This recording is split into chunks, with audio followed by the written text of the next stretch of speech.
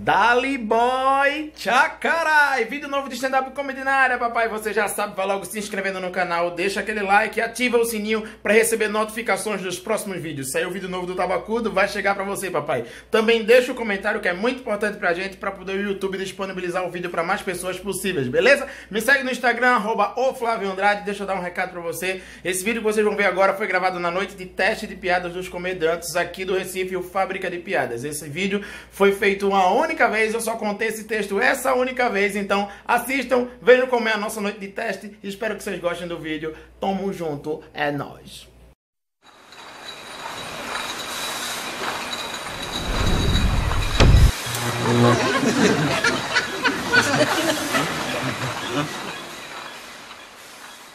Vocês estão? Bicho, a galera tá perdendo a noção agora da rede social, né?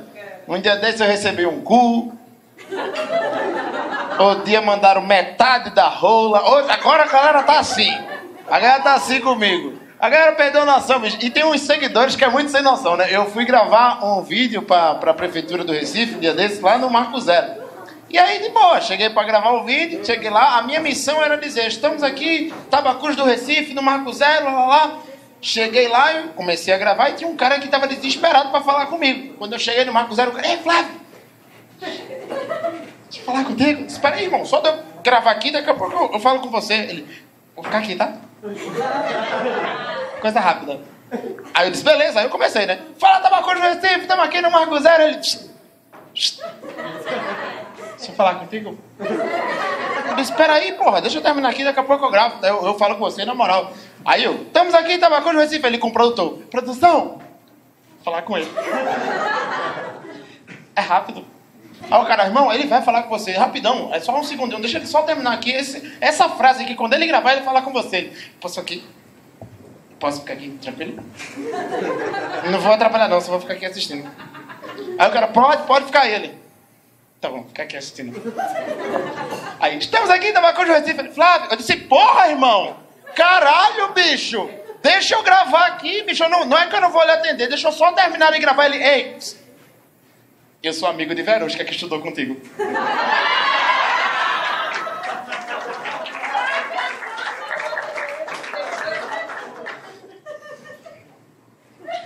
Era só isso mesmo. Eu estudava lá.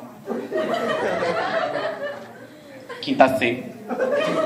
Bicho, eu fico puto com essas paradas. No carnaval, carnaval passado agora, carnaval passado, eu tenho uma tia que ela, ela mora no centro do carnaval, em Olinda ali, tipo, centrão mesmo, perto do Carmo ali, da faculdade de Foca, sabe?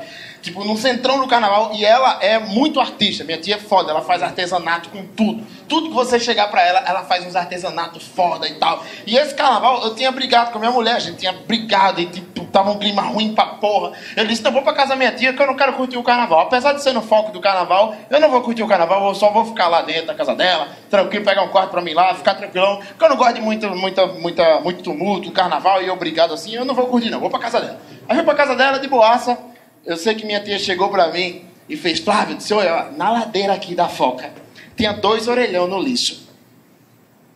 Eu disse, o que, que cara, eu quero saber de ter orelhão no lixo?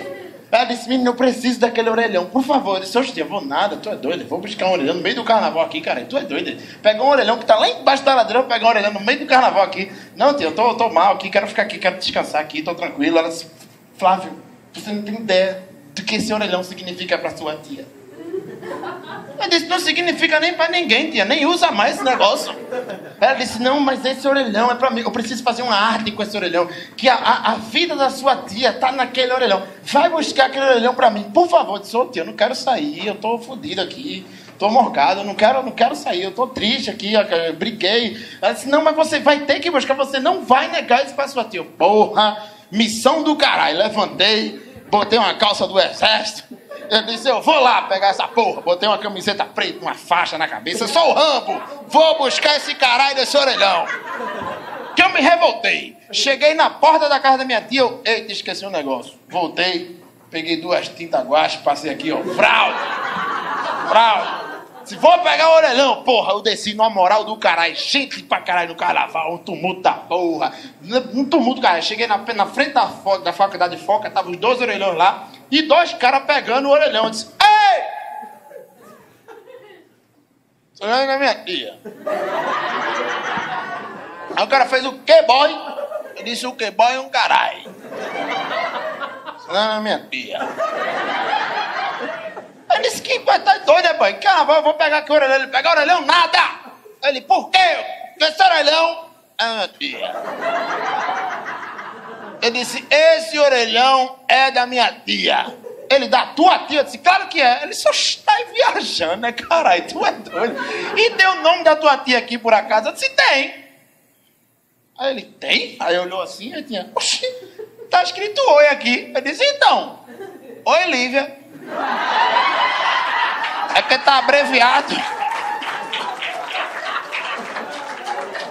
Eu disse, tá abreviado. Ele, eu não vou dar não. Eu disse, vai dar. Ele disse, pra que tua tia quer isso aí? Eu disse, ela é artista. Ele disse, um orelhão. Eu disse, é. Ela vai fazer o quê? Eu não sabia. Eu disse, uma maquete. Ele olhou pra mim e fez, tchá carai. Que maquete do caralho. Eu disse, eu vou levar. Eu sei que foi uma confusão do cara. Ele, vai, caralho, toma essa porra desse orelhão. Peguei o orelhão, botei ele aqui, ó. Brau. Aí o telefone caiu, ficou pendurado. Aí um pegou, fez alô, e o outro me deu uma dedada. Eu disse, opa! Eu disse, que porra é essa aí? Ele, é, papai, aqui em Olinda um atende e outro recebe. Eu disse, oxe!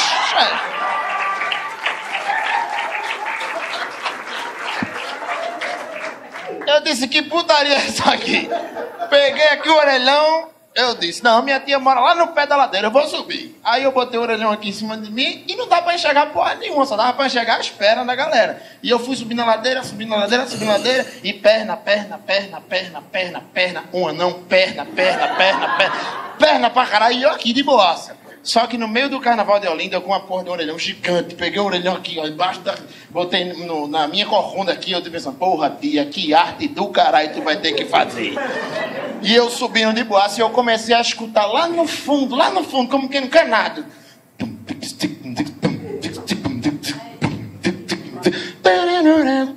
Eu disse, ô oh, Jesus.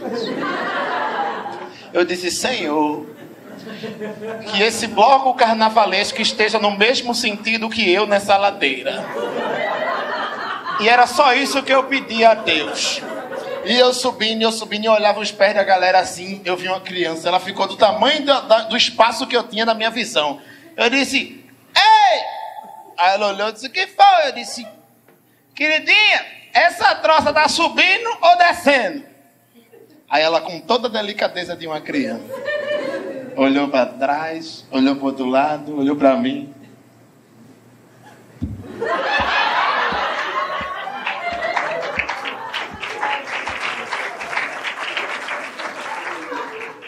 Bicho, nessa ladeira foi a pior tarde da minha vida. Eu subi a ladeira, eu disse, eu preciso ter visão. Pum, coloquei o orelhão aqui pra cima. Quando eu subi o orelhão, pum! Um noiado olhou pra mim. Com a porra de uma lata na mão. E ele mexia. Ele olhava, analisava. Eu disse, que é, caralho? Ele. Porra, boy. Que transforme do caralho. E foi embora. E foi embora. Chegou outra menina, fez, ai, adorei tua fantasia de ligação a cobrar. Vem cá, amor. Tira aqui comigo. Eu sei que começou a chover, eu era o único protegido. Eu disse, olha aí o lado bom da coisa. Comecei a subir, cheguei lá em cima, eu precisava descansar porque tava um peso do cara. Quando eu parei, passei cinco segundos, olhei para baixo, tinha uma porra de uma fila de gente que queria usar o orelhão. Eu disse, ô oh, caralho! Isso aqui é meu transforme. Botei nas costas, comecei a subir, o, o, o telefone caiu. Uma dupla de viado chegou, um pegou o telefone fez alô, o outro pau, eu disse, opa! Que porra é essa aqui? o cara disse, haha, aqui em Olinda uma tenda do recebe. Bicho, eu sei que eu fiquei desesperado. Eu subi naquela ladeira, não sabia mais o que fazer. Única rua que eu vi sem ninguém assim. Eu disse, eu vou entrar aqui que eu preciso fugir. Quando eu dobrei, que olhei pra frente, rua 13 de maio.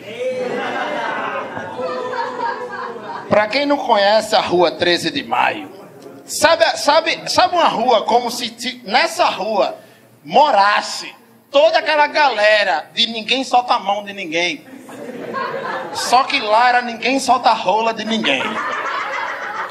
Uma rua que só tinha viado. Eu passei, mas eu levei tanta dedada. Bicho, botaram tanta ficha naquele orelhão. Que eu cheguei de volta na casa da minha tia com 800 reais de bônus na Oi. Pense no desespero. Que tarde. Que tarde desesperadora. Cheguei na casa da minha tia que eu joguei o orelhão num quintal. Blim, blim, blim, blim, blim, blim. Eu disse, aí. Caralho. Vai fazer o que com essa porra? Aí ele olhou pra mim assim. Sabia que eu ia conseguir tirar dessa cama?